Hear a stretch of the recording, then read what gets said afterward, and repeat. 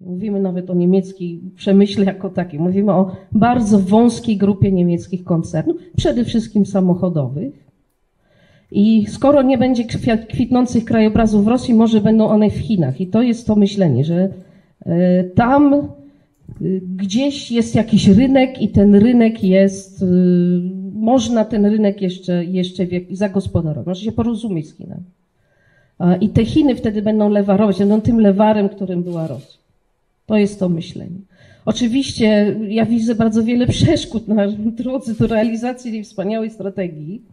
Pierwsza chociażby jest taka, że Chińczycy już kilka miesięcy temu powiedzieli słowami swojego ministra e, gospodarki, że planują masowo sprzedawać swoje własne samochody, czyli że będą wchodziły w konkurencję z producentami europejskimi.